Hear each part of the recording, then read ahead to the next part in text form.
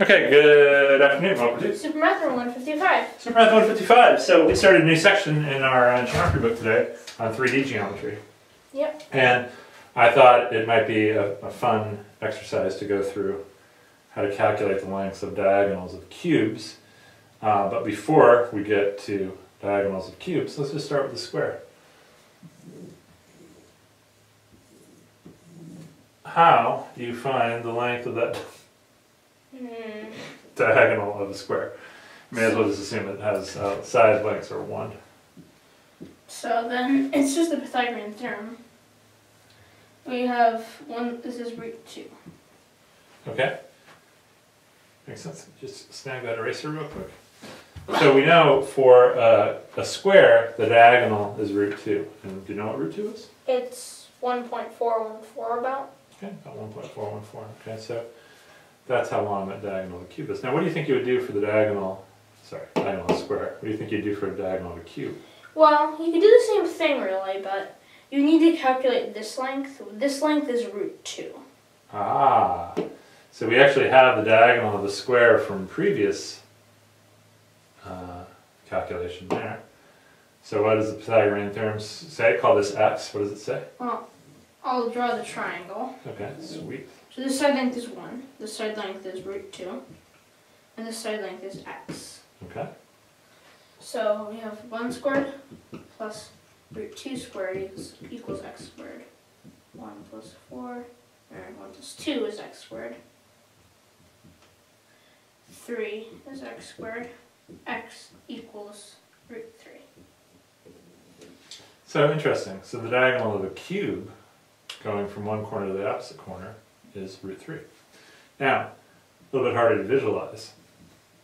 What about a four-dimensional cube? What do you think the diagonal would be? Well, I went from root 2 to root 3. Maybe the next one would be root 4. Okay. Why, why do you think that might be the case? Well, we have another triangle where it's we have one root three, Okay. and then this is root four two. So if the if the diagonal of a of a cube is representative of what happens in the next dimension, which is going to be very difficult for us to Yeah, visualize. this is this is always this is always the longer leg in the next dimension. Yeah. So you can see you have the diagonal from the square, then you go up one in the next dimension. So we have the diagonal from the three-dimensional cube, and we go up one in the fourth dimension, and you get this triangle, this two-dimensional triangle, which has goes up one, goes across root three, and that means the hypotenuse is two. Anything interesting about this triangle in four dimensions? It's a 30, 60, 90 triangle. How about that? So in a 30, 60, 90 triangle, sorry, rewind. In a four-dimensional cube, or a hypercube, that diagonal forms a 30, 60, 90 triangle. Hmm. Isn't that interesting? Yeah.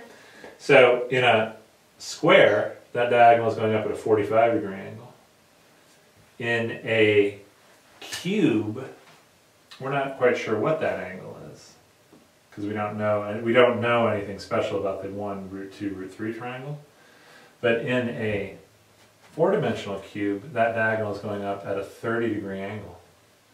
So as the cubes get larger in dimension, it seems like the angle is shrinking. Hmm. Isn't that interesting? Yeah. Dimension infinity will be a zero. It'll be a line. Yeah. Uh, I'll tell you something that's probably not too surprising. yeah. Infinite dimensions is a little bit crazy to deal with. Yeah. But mathematicians have figured out how to study it. But it's a little bit different than, um, than you might think initially, anyway. Well, there's something interesting. Dimension infinity and dimension 1 here have the same diagonal length. What do you mean? Because with this triangle in dimension 1, it's a line, Uh huh. and in dimension infinity, it's a line. Yeah, but it might not be the same length because Yeah. remember you're going square root of 1, square root of 2, square root of 3, square root of 4. And this line has length 1, this is dimension 1. Yeah, in dimension 1, then that the line itself is a diagonal. In dimension infinity, We it never looks know like it might be the square root of infinity. which. What? Wait, what? Alright, anyway, cool. Good work, good work. Good work.